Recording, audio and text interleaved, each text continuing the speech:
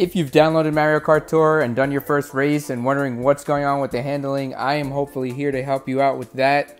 Uh, so basically the game feels a little weird, especially at first. Maybe this is something we're going to get used to. Nintendo has sort of a thing where at first you're like, ah, but then once you get used to it, you're like, okay, I see you, Nintendo, you good. Uh, but as of right now, day one, you know, first hour, whatever, first few minutes of the game, it feels a little bit weird. So let's go ahead and check out the settings. Uh, this is what you're going to want to do to make the game feel more like a traditional Mario Kart experience. Uh, so you're going to want to enable manual drift. This is going to let you drift from any distance. If you disable manual drift, automatic drifting is enabled and the drift time is not long enough. So you're not going to get your drift bonuses. You're not going to get those big boosts off of drifts. You're only going to get a tiny boost. Uh, but when you turn manual drifting off, you're able to turn the kart normally. With manual drifting on, you can't turn the cart normally because you're always drifting. Uh, and I'll show you guys that in a minute. So you want to enable manual drift. The second thing you want to do is disable smart steering. That's on by default, just like it is in Mario Kart 8 and Mario Kart 8 Deluxe. So go ahead and disable smart steering. Otherwise, there's going to be AI steering going on. It's going to mess you up. I disabled auto item. This is a personal uh, personal preference. I don't want my items to be used automatically when I pick up a new box because sometimes you want to hold on to an item. Uh, so I disabled that. And now here's the, the key part of this video is to enable gyro handling. And it, it kills me to say that because I'm not really a fan of gyro handling. But what this does in conjunction with manual drift is it allows you to turn the cart normally without drifting. And then with manual drift, you're able to drift the cart manually as well. So it's, it's full manual control over the cart. You just have to get used to the gyro handling. And it's nothing crazy. You don't have to turn, you know, you don't have to turn your device 90 degrees or anything like that. Uh, it's more of a, a, a correction tool. So, you know, when you're coming out of a drift and you need to correct the vehicle, you need to correct the card, straighten it out on the road, it, it comes in very handy for that. Uh, so let's go ahead and try this out. We'll do something that I've already done here.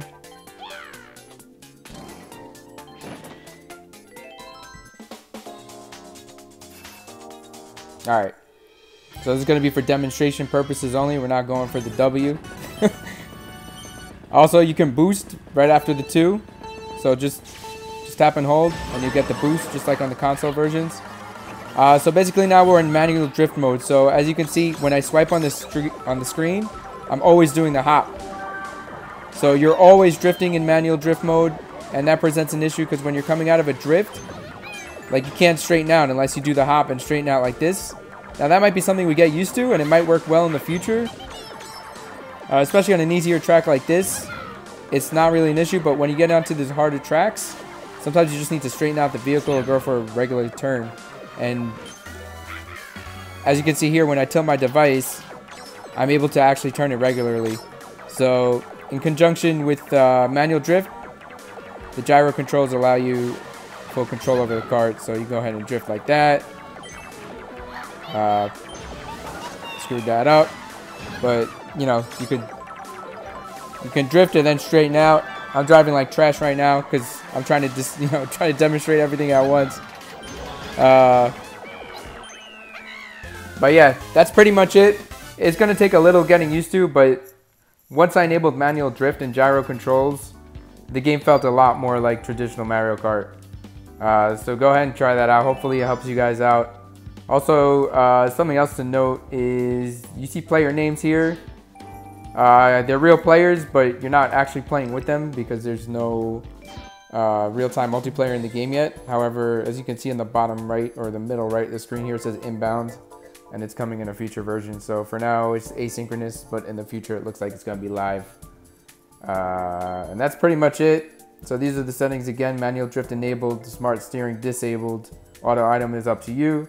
And then gyro handling, there are no gyro handling, uh, there's no way to change the sensitivity, but it seems to be right, feels good. Uh, hopefully in the future we see a drift button with regular, uh, you know, regular steering.